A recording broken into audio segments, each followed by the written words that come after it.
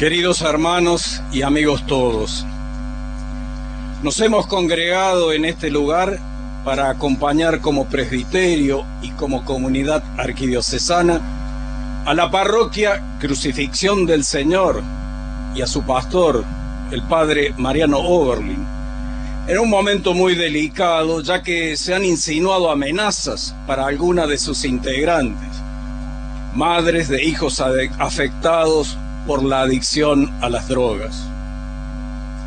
Nos acompañan miembros de otras iglesias cristianas, de otras tradiciones religiosas y personas solidarias y de buena voluntad. A todos les agradecemos este valioso gesto. Queremos expresar nuestra cercanía y nuestro acompañamiento a todos los que sufren el flagelo del tráfico y del consumo de las drogas a las comunidades de la ciudad y del interior, y a innumerables familias concernidas por este drama. Hoy estamos aquí por la razón invocada al comienzo, pero podríamos encontrarnos igualmente en cualquiera de esas comunidades que sufren ese problema. Queremos formular nuestro apoyo a los que trabajan por prevenir este mal ayudando especialmente a los niños, a los adolescentes y jóvenes a no caer en estas redes malignas y a quienes se esfuerzan por recuperar a los que quieren salir de estas situaciones sumamente dolorosas de las adicciones. Queremos por fin expresar nuestro apremiante pedido a las autoridades públicas para que profundicen las acciones tendientes a combatir eficazmente la expansión de este vil comercio de parte de los mercaderes de la muerte. debemos destacar, sin embargo, que este drama no es un problema solo de las autoridades públicas, de la justicia y de las fuerzas de seguridad. Ciertamente todos ellos tienen una responsabilidad indelegable y de la que no pueden excusarse ni apartarse. Pero todos en la sociedad debemos sentirnos concernidos por el problema y debemos procurar hacer cuanto esté a nuestro alcance para enfrentarlo. La palabra de Dios que acabamos de proclamar nos presenta en la primera lectura una descripción de la realidad maravillosa con la que Dios ha querido enriquecernos gracias a la resurrección de Jesús. Todo ello es fruto de la bondad de Dios y de su infinita misericordia. Esa realidad, nuestra transformación interior, está ya en acción y aguarda llegar a su plenitud. Eso sostiene nuestra esperanza una esperanza que permite atravesar con valor y sin desfallecer las innumerables dificultades y pruebas de la vida. En el Evangelio contemplamos de algún modo cómo esa realidad se alcanza por la libre adhesión a la propuesta y a la persona de Jesús. Pero esa libre adhesión puede verse entorpecida o impedida por el atractivo de las riquezas.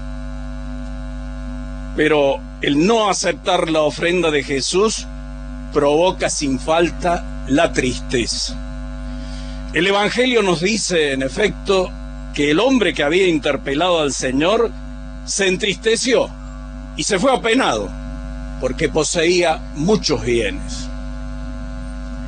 De todas maneras, el Señor no deja de proclamar una buena noticia. La gracia de Dios es poderosa y capacita para superar todo tipo de obstáculos. La experiencia de muchos que se han recuperado de las adicciones a las drogas puede certificar la veracidad de las palabras del Señor Jesús. Volviendo al problema que nos ocupa, precisamente el de las adicciones, debemos señalar que el futuro de nuestras familias, de nuestras comunidades, y en definitiva de nuestra patria está seriamente comprometido. Nuestros niños, adolescentes y jóvenes afrontan el enorme riesgo de emprender un camino de difícil o casi imposible retorno. No podemos permanecer indiferentes. No es verdad que no se pueda hacer nada. Al contrario, todos podemos hacer algo. Ante todo, no aprobar de ningún modo cualquier tipo de adicción o de propósito de hacer la prueba para ver cómo es. No hay droga blanda o de buena calidad, distinta de la mala o dura. La droga buena o mala, destruye y mata siempre. Así de simple.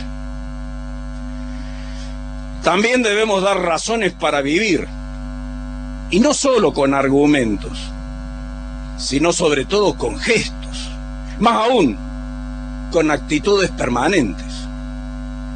La acogida cariñosa, especialmente a los niños, adolescentes y jóvenes la indispensable ternura. No hay que tener miedo a la ternura, nos dice claramente el Papa Francisco. La dedicación del tiempo para escuchar y acompañar a los hijos, a los alumnos, a todos en definitiva. Brindar una educación que comienza por el ejemplo y se afianza por la coherencia entre lo que se dice y lo que se hace. También promover incansablemente la adquisición de hábitos y virtudes. En este sentido es admirable la obra que realizan distintas instituciones e iniciativas que buscan recuperar a quien ha caído en las adicciones. Hábitos buenos de veracidad, decir siempre la verdad, aunque duela. La bondad permanente, la laboriosidad hasta la fatiga, la solidaridad constante. Aquí es donde resplandece la propuesta del Evangelio de nuestro Señor Jesucristo que planifica todas esas actitudes. Esta es nuestra responsabilidad indelegable como comunidad católica. La obra que realizó el cura brochero en Tras la Sierra, de llevar a sus paisanos desde el Evangelio a una vida más humana y más digna, es emblemática para todos nosotros. Este es un ámbito de posible colaboración con nuestros hermanos de otras denominaciones cristianas y de otras tradiciones religiosas desde sus propias convicciones.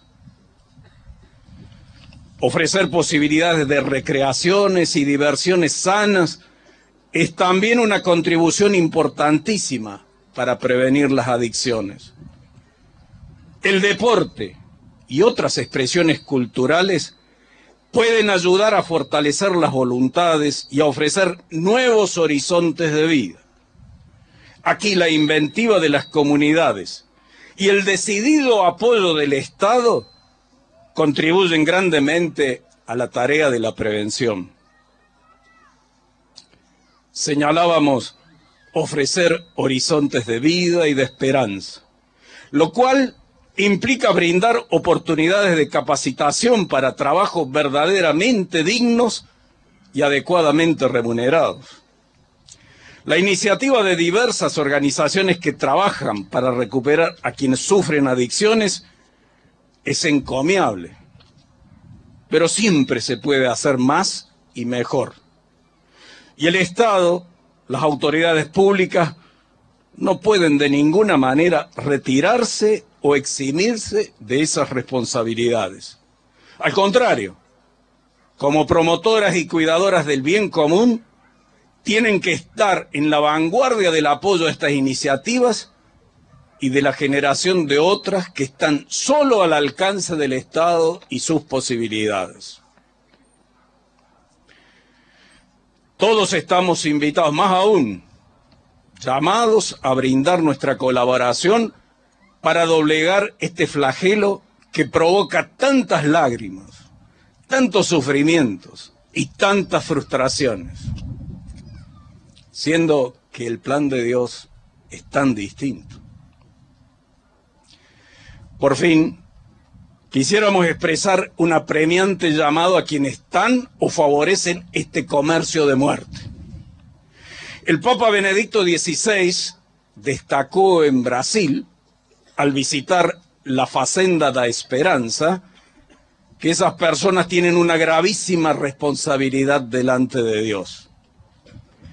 Y no hay que olvidar que cada uno debe presentarse ante el tribunal de Dios a dar cuenta de lo obrado.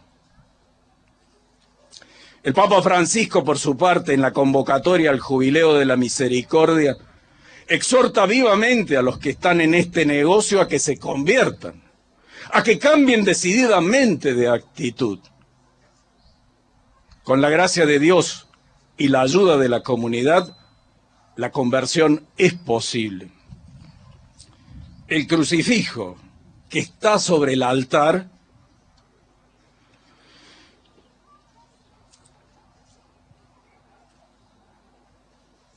Es un obsequio que recibí en una oportunidad de parte de un traficante que estaba detenido en la cárcel.